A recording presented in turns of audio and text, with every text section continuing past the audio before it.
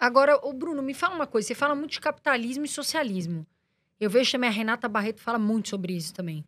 Por que, que você acha que. Porque, assim, é uma guerra. Se você fala na, na internet de política, de capitalismo, socialismo, partido político, é uma guerra. Parece. O pessoal gosta de, disso ou de reality show.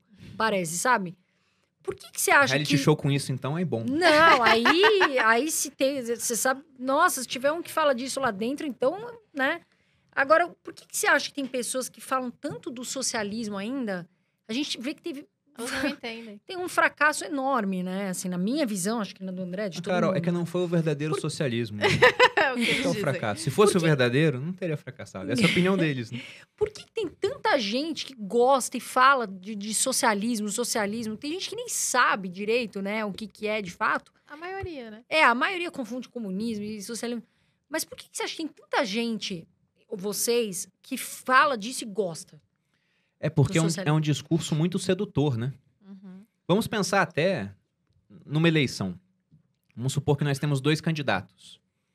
Um deles fala: olha, se eleito, eu vou reduzir o gasto público. Então você não vai ter mais saúde pública, educação pública também vai ser muito menos do que existe hoje, mas eu também vou reduzir o, o teu imposto. Esse é um candidato.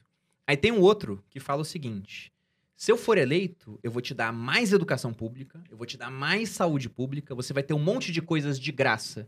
E como vai pagar por isso? Ó, vou tributar os ricos. Quem que vai ganhar a eleição?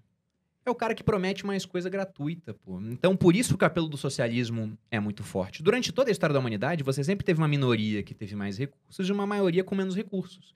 Então é muito fácil jogar um contra o outro, E não né? é só isso Pra que você né, consiga amor? se eleger. É porque as pessoas, você falar, é- as pessoas acham que quando falam de socialismo é beneficiar o pobre e fazer com que o rico seja prejudicado. Punir o rico, assim, né? Punir o rico.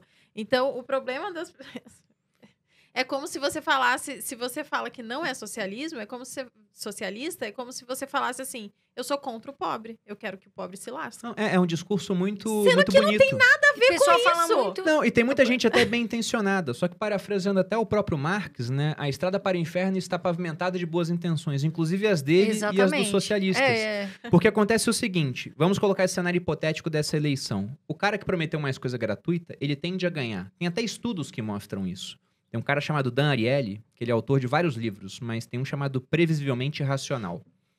Onde ele cita um estudo que ele fez em faculdades, onde ele chegava no intervalo assim das aulas e colocava uma banquinha vendendo dois tipos de chocolate. Tinha um chocolate de menor qualidade e um com mais qualidade. Se não me engano, era Hershey's e, e Lindt. E aí o, o bombom da Hershey's era um centavo de dólar e o bombom Lindt era cinco centavos. E aí os alunos iam em intervalo, alguns escolhiam mais baratinho, outros aquele mais caro, né? Isso aconteceu.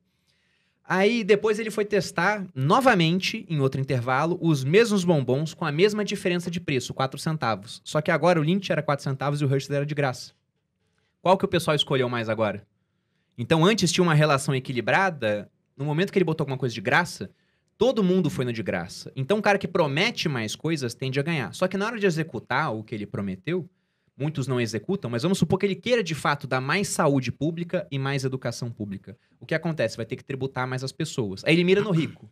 Só que não dá pra tributar só o rico, porque é pouca gente que é rica.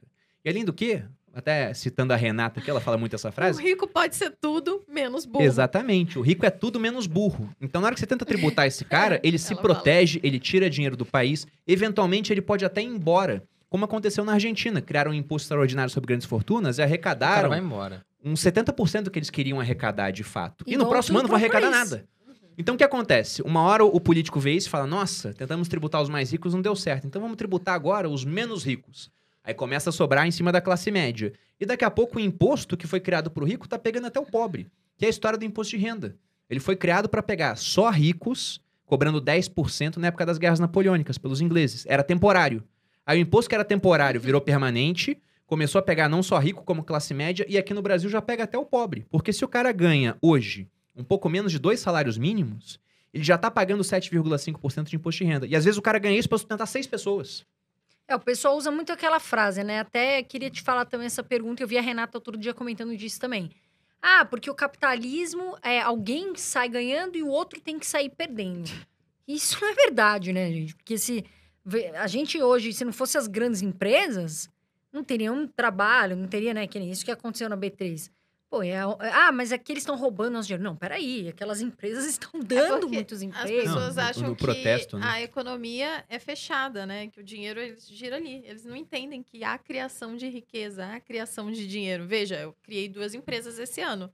Eu não peguei de ninguém o dinheiro, né? Eu fui lá e criei aquilo, e aquilo é uma coisa nova. Inclusive, gerei um monte de emprego, de Exato. roupa. O pessoal tá, tá fazendo, produzindo, tem a costureira, tem o pessoal que faz o logo, tem, enfim, um monte de coisa. Vamos Ou dar um seja, eu produzi, eu agreguei, peguei um troço, botei uma marca, agreguei valeu, valor aquilo e alguém me pagou. Então, eu gerei riqueza. E alguém te, te pagou voluntariamente, né? Voluntariamente. Mas, mas dando um exemplo para que as pessoas entendam melhor. Porque elas pensam que simplesmente nas Nossa, trocas dinheiro. alguém tá saindo perdendo. Eu tô com esse objeto arqueológico aqui, uma nota de É, Porque eu dinheiro nunca vejo real. dinheiro. Mas vamos supor, ó, que eu quero fazer negócio com a Carol. Eu vou fazer negócio com ela porque eu quero. Ela não tá me ameaçando com uma arma embaixo da mesa. Eu não sei, né? Não tô vendo, pelo menos. Mas eu olho assim esse anel da Carol e falo, ó, eu quero esse anel aqui, 50 reais. E eu só vou fazer essa troca pelo seguinte, porque eu entendo que esse anel vale mais do que os 50 reais. E ela só vai me vender porque ela entende que os 50 reais valem mais do que o anel. Então, voluntariamente, duas pessoas livres fazem essa troca. Eu dou 50 pra Carol, ela me dá o anel. É um Peguei aqui. Aí a, a Carol olha pro André e fala, pra mim, nossa... Bruno, eu tô por favor. sentando. Ai, bicho ela, ela olha assim e fala, aquele copo lá é muito bonito.